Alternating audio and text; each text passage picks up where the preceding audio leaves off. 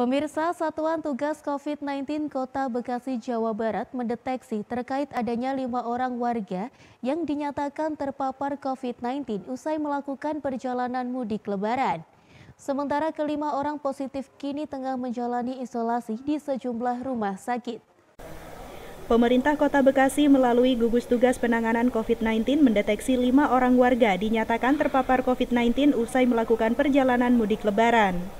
Temuan kasus tersebut muncul setelah petugas melakukan tracking kepada sejumlah warga dari berbagai sampel yang dilakukan oleh petugas.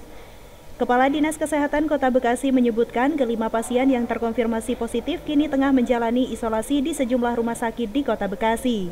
Tim medis juga terus melakukan penelusuran tracking kepada sejumlah keluarga pasien guna memutus penyebaran virus COVID-19. Kasus konfirmasi positif COVID-19 di Kota Bekasi diketahui berangsur menurun dari sebelumnya. Pemerintah daerah melalui Dinas Kesehatan Kota Bekasi juga meminta masyarakat untuk tetap mematuhi protokol kesehatan selama berada di luar rumah.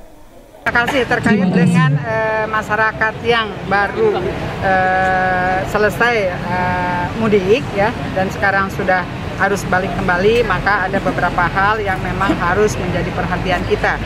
Tapi sebelum saya sampaikan hal-hal yang harus menjadi perhatian kita semua termasuk para eh, pelaksana tugas di wilayah khususnya kesehatan, kami sampaikan untuk kasus COVID saat ini eh, kenaikannya hanya lima kemarin. Jadi tanggal hari kemarin itu penambahannya lima kasus. Jadi untuk saat ini saya katakan aman ya, aman. Mudah-mudahan saja jangan sampai eh, terjadi lonjakan atau jangan sampai muncul gelombang kembali. Itu yang kita harapkan semua.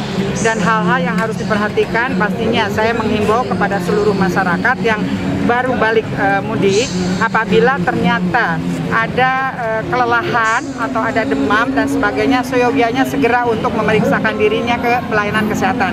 Masyarakat Kota Bekasi diminta untuk memeriksakan diri jika mengalami gangguan kesehatan, terlebih gejala yang terindikasi COVID-19.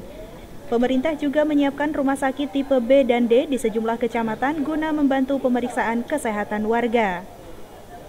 Dari Bekasi, Jawa Barat, Tim Liputan Madu TV mewartakan.